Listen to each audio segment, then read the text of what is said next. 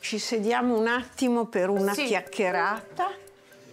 Allora, io ho notato in questa casa un caos indescrivibile. Di spazi, di tempi, di persone, di cose, che crea questa confusione per cui in realtà nessuno sa bene che cosa dovrebbe fare.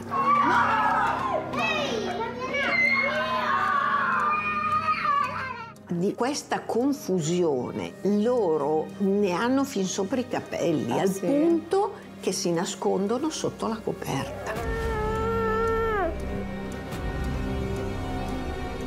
Questa è una richiesta di pace.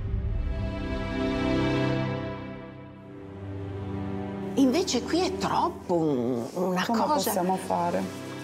Eh, bisogna rimettersi a riorganizzare tutto dalla tavola che deve essere apparecchiata. Se tu gli dici che devono andare a prendere l'acqua lì, per forza si alzano. Non ci ho mai pensato, ho detto finalmente hanno un motivo per eh, essere indipendenti, autonomi sull'acqua. Perché Eh, mi metti le, No, bro- le brocche. No. Eh, eh, eh. Problema è che anche nel momento in cui è pronto, loro comunque si alzano o la Ma tele certo, o perché vanno sono a vedere di abituati là. così. Non so più come fermarli. Ci deve essere una regola ferrea.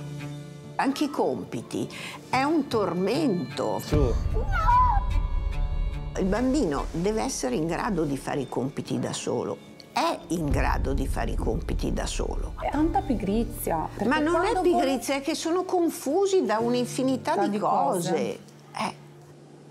E hanno bisogno degli stimoli giusti, in modo che loro si sentano capaci. Ok. Invece di sempre criticati, sempre si fa così. Eh, Sì, è demoralizzante, vero?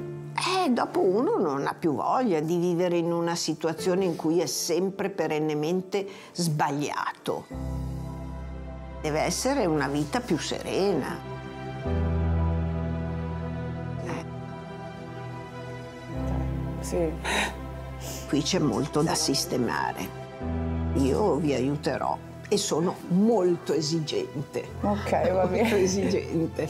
No, no, va bene. Sono cose che probabilmente noi non, cioè, non abbiamo visto, forse sbagliavamo sperando di fare del bene. Visto che lo stress eh, di questo caos lo sentono anche i bambini, c'è da rivedere tutto.